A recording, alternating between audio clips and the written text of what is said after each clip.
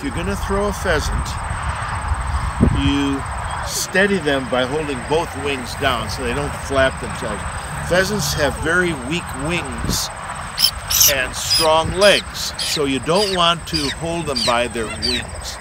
And when you get ready to throw, you take a, a leg and a wing like this, one hand, and so that you have it like that, and you your other hand to steady it so they don't so they don't flap that wing.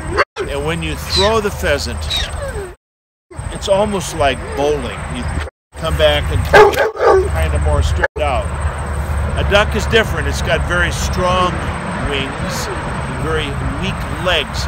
So you never hold a duck by his feet. You always hold a duck by the wings. Okay, here we go.